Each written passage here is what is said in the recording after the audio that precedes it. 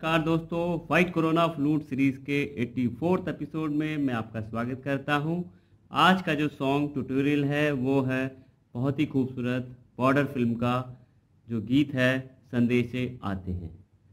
इस गाने में ध्यान देने वाली बात यह है कि सारे स्वरों का इसमें यूज़ हुआ है और स्पेशली कोमल स्वर, एक इसमें रे कोमल लगा है, रे शुद्ध भी लगा है और रे कोमल भी लगा है। मौ शुद्ध भी लगा है और मौ तीव्र भी लगा है। ठीक है? इसके अलावा बाकी सारे स्वर इसमें लगे हैं। इसमें मुर्की का बहुत अच्छी तरह से यूज़ हुआ है, गमक का यूज़ हुआ है कर्ण सर का यूज़ हुआ है। तो आई होप आप पुराने ट्यूटोरियल अगर देख रहे हैं तो आपने कर्ण स्वर तो अच्छी तरह से प्रैक्टिस कर ही लिया होगा। मुर्की का मैं आपको एक छोटा सा रिवीजन और देता हूँ। जैसे मुर्की का अगर आपको सा बजाना है तो इस सा के आगे पीछे के नोट के साथ में उसको सा बजाइए। सा रे इसी तरह से इसमें जो है मुर्गी का काफ़ी जगह पर इसमें यूज़ हुआ है। जहाँ जहाँ पर यूज़ होगा वो मैं आपको बताते चलता हूँ। अभी हम इसके फ़र्स्ट लाइन जब गाने की स्टार्टिंग है तो ये एक ट की टंगविंग के साथ में हायर ऑक्टेव पे पहली दो लाइनें आती हैं।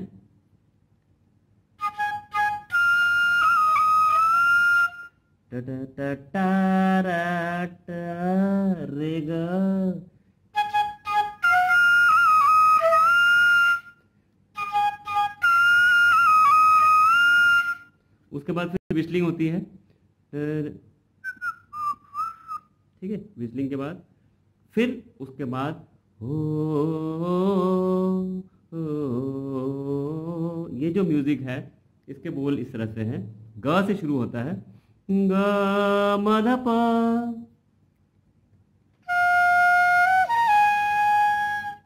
अभी मैं बिल्कुल प्लेन बता रहा हूँ आपको, कोई आपने हरकत नहीं करनी है। तभी आप पहले इसको सीखेंगे प्लेन को, उसके बाद आप गाना सुनोगे तो आपकी उंगलियाँ ऑटोमेटिक हरकत को मांगेंगी और आप उसको बजा पाओगे। अभी आपने क्या करना है? सिर्फ़ प्लेन देखिए ग मधप। रे ग म सा रे ग रे सा नी रे रे सा प्लेन बजाएँगे तो कैसा लगेगा?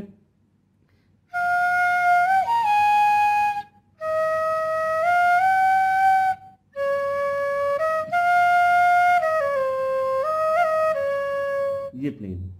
जब आपको ये प्रैक्टिस हो जाती है, उसके बाद आप थोड़ा सा इसमें गमक और कर्ण स्वर का यूज़ कर सकते हैं। प को मैंने अभी पौधा पा कर दिया।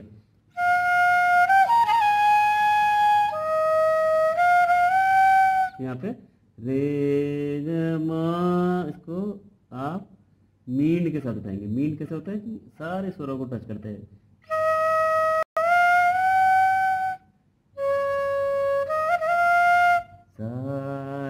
सारे रे गा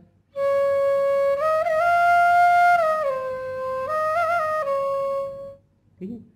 मुर्ग की सॉरी ये जो भी हरकत है, ये आपको सुननी है। स्वर आपको हमेशा कोई भी देगा नॉर्मल स्वर देगा, क्योंकि हरकतें इतनी ज़्यादा होती हैं कि उतना लिखना, इतना आसान नहीं होता और उसमें आप और कंफ्यूज हो जाओगे अगर वो सारा लिख दिए तो। तो इसलिए वो आपको हमेशा अपने दिमाग से लेना है। ठीक है दोस्तों? एक बार पूरा देख लीजिएगा।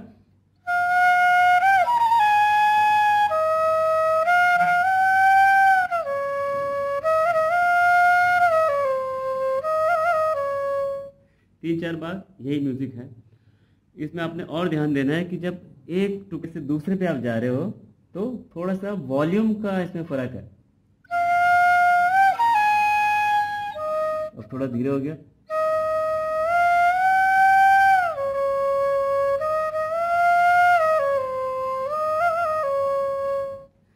चेंज ऑफ़ वॉल्यूम से थोड़ा सा इसमें इम्पैक्ट आता है। Okay now we move on to the first स्थायी का जिसको बोलेंगे, उसका पहला मुखड़ा। ठीक है? तो दोस्तों आइए। फ़र्स्ट लाइन संदेश आते हैं, हमें तड़पाते हैं, जो चिट्ठी आती है, ये तीनों जो स्टैंडा हैं, सेम स्वर बजेंगे इसमें। और कौन से स्वर बजेंगे? देखिए, प से शुरू होगा और गौ तक जाएगा ये। अभी आप नॉर्मल उसमें आगे हो। जो आपने इंट्रोडक्शन वाला बताया था आपको, वो हायर ऑक्टेव में था। ठीक है? अभी जो है ये मिडिल ऑक्टेव में आ गया अभी और प इसमें जो है वो मंद्र सप्तक पीछे वाला यूज़ हो रहा है। प प प।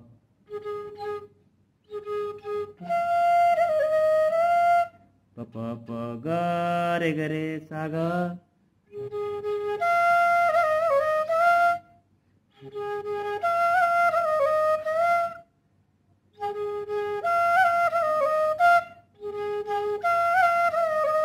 ये चार बार ऐसे होगा, उसके बाद कि घर कब आओगे?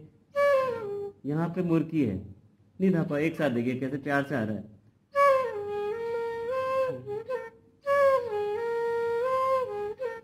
सानी धापा सानी धापा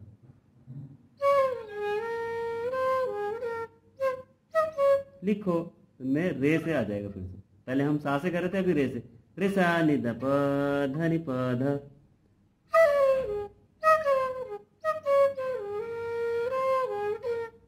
कि तुम बिन ये घर सुना। यहाँ पे रे से शुरू होगा। गम ग रे रे रे रे रे गम ग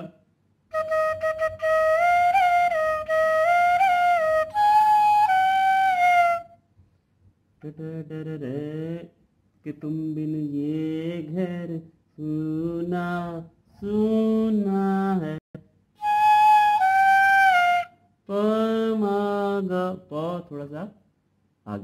ठीक है? सुना है। फिर उसके बाद?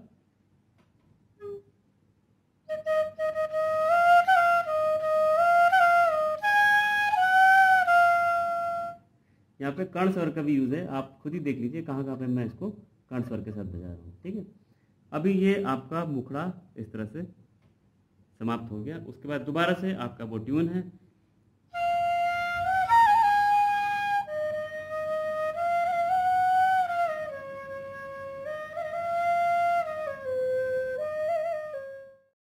दोस्तों नेक्स्ट पैराग्राफ है, किसी दिल वाली ने, किसी मत वाली ने हमें खत लिखा है। सेम बजेगा, प प प, ध, सारे गगरे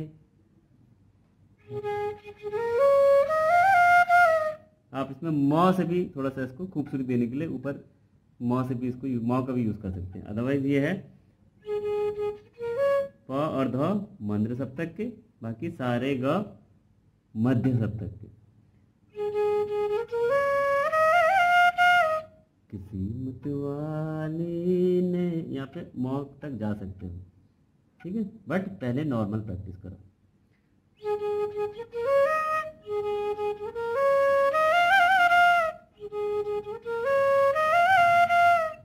कि हमसे पूछा है। यहाँ पे कोमल रे लगेगा प्लीज़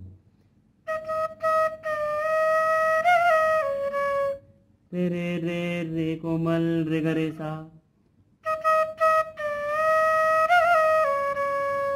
यह बहुत आसान है रे कोमल लगाना यहाँ पे, क्योंकि आप ऊपर से नीचे आ रहे हो, ठीक है? कि हमसे पूछा है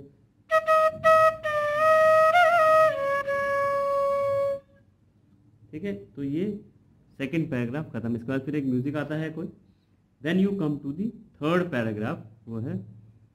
किसी की सांसों में, ये थोड़ा सा ऊँचा चला गया। तो ये तीव्र मौ से यूज़ होगा।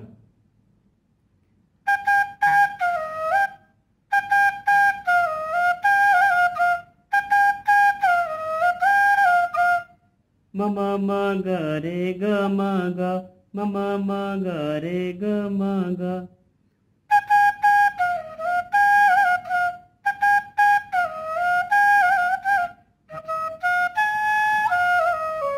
किसी के कंगन से रे रे ग रे सा।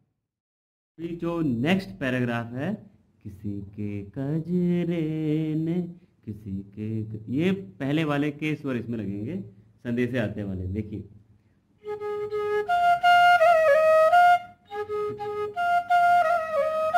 महकती सुबह ने मचलती राहों ने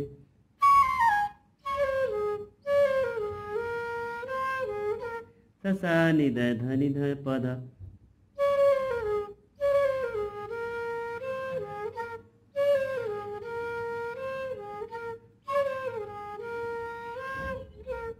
ठीक है? और पूछा है तरसी निगाहों ने